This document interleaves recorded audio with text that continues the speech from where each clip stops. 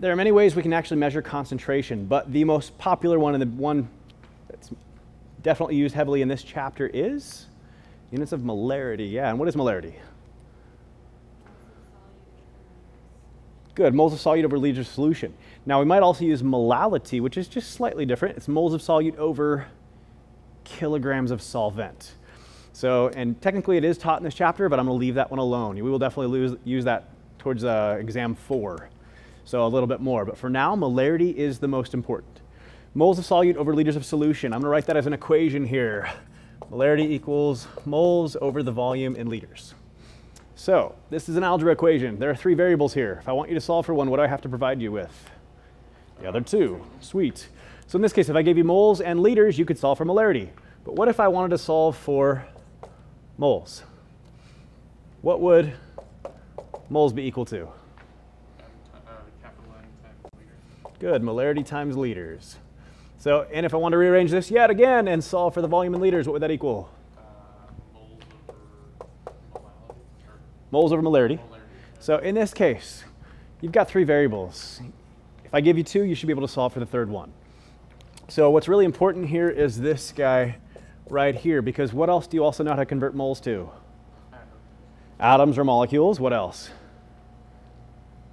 If you have a periodic table handy, you can convert moles to grams, mass as well. So this is really important because here's, you know, we, we have a phrase, all roads lead to Moleville. You can convert moles to anything or anything to moles is usually the way we kind of look at it. Here's another way. Now if you have molarity and volume, you can get the moles. And if you can get the moles, you could convert that to grams or atoms or molecules or something of this sort. All right, so let's have a little fun with this. Question on your handout is what volume of 0.15 molar H2SO4 is required to neutralize 0.50 liters of 0.40 molar NaOH. So first of all, this implies a chemical reaction is going on. Uses the word neutralize in the question. What kind of chemical reaction are we doing? So it's definitely an aqueous reaction. In fact, the whole chapter is dealing primarily with aqueous reactions from here on out. But specifically, what have I mixed together here? Acid and a base, and they call it neutral. They say neutralize in the question. I say they. I wrote the question. I say neutralize in the question, so it's an acid-base neutralization, which we just dealt with. And when you do an acid-base neutralization, what are typically you're going to form as products? Water and some sort of ionic compound, or a salt, we might say. And so first thing we should do is let's get a balanced equation here.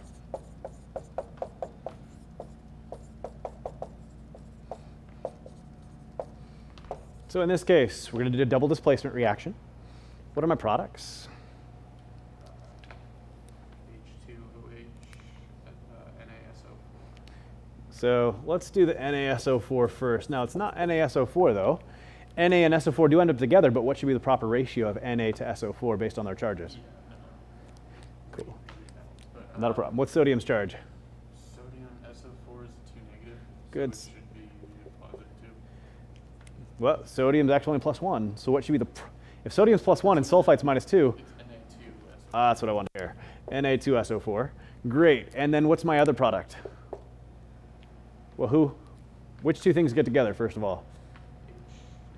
H and OH. What's H's charge? It's an ion plus one and OH. No, again, one at a time, though, plus one. We always look at it one at a time. And then OH, negative one. So if H is plus one and OH is minus one, what ratio do they mix in? One to one. And what's H and OH mixed in a one to one ratio? H2O, which again I'm going to write as HOH, which, yes, I know, again, is water. Cool, but that's going to help me balance. The H comes from the acid, the OH comes from the base. So help me balance this. Where do you want to start? Good. Two sodiums on this side, so to get two on this side, I need two of these, but it gives me two hydroxides. How do I make sure I get two hydroxides on this side? Coefficient of two in front of water, but that gives me two H's. I've got two H's from the acid. One sulfate, one sulfate, we're good. The big thing I needed here was the mole to mole ratio in which these react. For every one mole of H2SO4, it requires 2 moles of NaOH to react with. That's what I needed to be able to answer this question right here. So in this case, what do I know about the NaOH? I got a molarity of 0.4 and a volume of 0.5 liters. And if I know molarity and liters, what do I really know about it? Good. If I know molarity in liters, I know the number of moles. So first thing you should recognize, anytime you see a molarity in a liters, you know the moles. So in this case, if I know the moles of NaOH, let's just say I told you it was 10. It's not, but let's say I told you it was 10. Based on this 1 to 2 ratio here, 10 moles of NaOH, how many moles of H2SO4 would you need to neutralize it? Five, half as many. And so if we know the moles of H2SO4, which we eventually will, through the moles of NaOH and this 1 to 2 mole to mole ratio, if we know the moles of H2SO4 and the molarity of H2SO4, then what do we really know? Yeah, moles of molarity, which would be the liters, which is what we're trying to solve in this question. So this is the solution stoichiometry that chapter four talks about, all dealing with this kind of stuff. So let's first of all, somebody get me the moles of NaOH here. Good, so in this case, 0.40 moles NaOH. I'm gonna work this out in terms of per liter with some dimensional analysis here. So then times 0.50 liters. What's that going to leave me with units of? Point 0.2 moles of Oh, NaOH. NaOH. That gets me moles of NaOH. I don't want moles of NaOH though. I want to convert that to what? Uh, moles of H2SO4. And what is the ratio, the mole to mole ratio here? Thirty and one two. Good, 1 over 2 in this case, awesome. And that'll cancel out the moles of NaOH. And that will get me the moles of H2SO4. So in this case, what was 0.5 times 0.4 again? Uh, point two. 0.2, what's 0.2 divided by 2? Uh, point one. So we have 0.1 moles of H2SO4. And finally, we're going to plug that right back in here. We've got 0.1 moles of H2SO4. And how many, what's the molarity, I should say? Molarity. Divided as 0.15 molar. And that should get us the volume in liters of H2SO4. What is 0.1 over 0.15? Uh. Cool. How many sig figs should I round that to? One. No, So. Let's look at the question. How many sig figs are in the Two. numbers? All of them have two sig figs. Should we should round to two sig figs? So in this case, 0.67 liters of H2SO4. If I was in a bad mood while I was writing your test. So what you guys don't know, Dr. Briggs is from San Diego. Padres not doing as well as they could be. They've spent a ton of money in the offseason. So they're not winning as much as they should be. Dr. Briggs could be in a bad mood. So guess what he could do with this answer choice? Put it in. Milliliters. So, and he'd put 0.67 liters, 0.67 milliliters, 670 milliliters. You know, he could put all these different combinations. And again, I put a couple right answers in there, but only he'd only put one right answer. So be careful. Look at your units. Super important. So, by the way, sig figs still important in lab. It was important on the first exam. It'll be important potentially on the final, maybe on one question. It's not the most important thing now on your exams. It's a multiple choice test. You're probably not going to be seeing a difference in sig figs for most of the questions, if not all the questions from here on out. Maybe on the final again, though. Yeah, can he put like point six six seven and then point six seven? I mean, he totally could put 0.667 and 0.67, but again, he was testing you on sig figs on the first exam. Oh. Not such a big deal now. Probably not going to see it that way. Not saying you can't, but probably not. Let's talk about dilutions for just a minute. So let's say that I like Kool Aid and that I like it a lot. It's not really true, but let's just pretend for a minute. And so I'm like, well, one packet of Kool Aid and a pitcher of water makes amazing Kool Aid, then let's put in 40 packets. And I put in 40 packets of Kool Aid and a pitcher of water. How's that working for me? Making some pretty nasty Kool Aid, right? So when I realize that, I take a little taste, I'm like, whoa, but I know how to fix this. I'm a chemist, right? And so I go to my bathtub, plug up the drain, and I pour the Kool Aid in there, and I just turn on the faucet. And now I have a whole bathtub full of Kool Aid. My question for you is this How many packets of Kool Aid ended up in my pitcher of water? 40. How many ended up in my bathtub? 40. The Kool Aid is the solute, the water was the solvent. the moles of solute I start with when I do a dilution is equal to the moles of solute I end up with. So the initial moles of solute and the final moles of solute are the same. If you recall though, another way in solution terms of writing the moles of something is to say molarity times volume. So another way of saying that the initial number of moles of solute equals the final number of moles of solute is just to say M1V1 equals M2V2.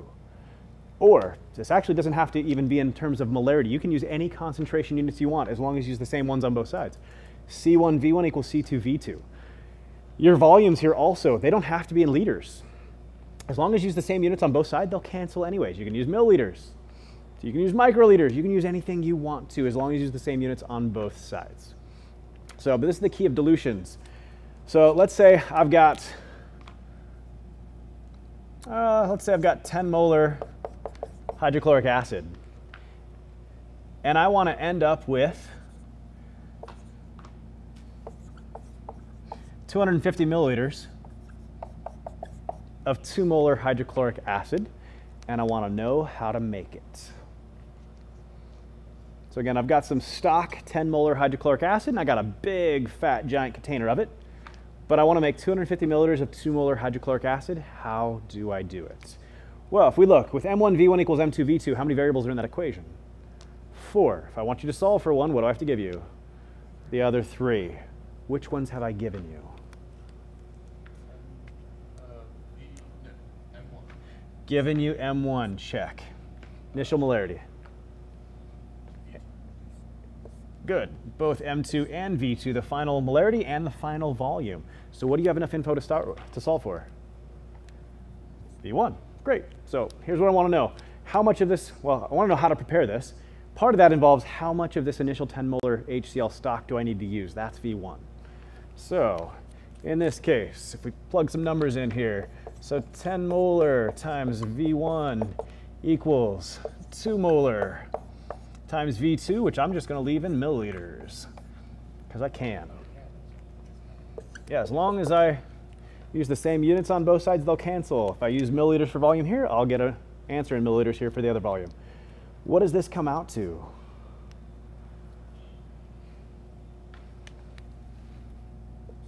It should be 50. Good. So, my real question was how do I make this solution? Well, what's the first thing I'm going to pour in? I'm going to pour in 50 milliliters of 10 molar HCl. And then what am I going to pour in? Well, I want to end up with a total of 250 milliliters of 2 molar HCl. So what am I going to put in from here? I'm going to add approximately 200 milliliters of water.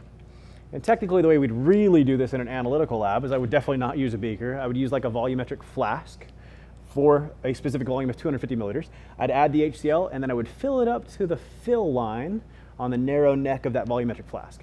But in Gen Chem, we would just say, yeah, add 200 milliliters of water, that'll make a total of 250, you're good to go. So one thing to note, when I ask a question like this, providing this sort of info, I can ask, you know, I asked how to make this. I could ask, how much HCl 10 molar stock do I use? That's what V1 solve for. But I could also ask, how much water do I need to add? Does V1 tell me how much water? Does V2 tell me how much water? No, this is the amount of the original stock. This is the total final volume. It's the difference between the two, 50 versus 250 in this case, that tells me how much water or how much solvent, whatever the solvent might be, I need to add, typically water.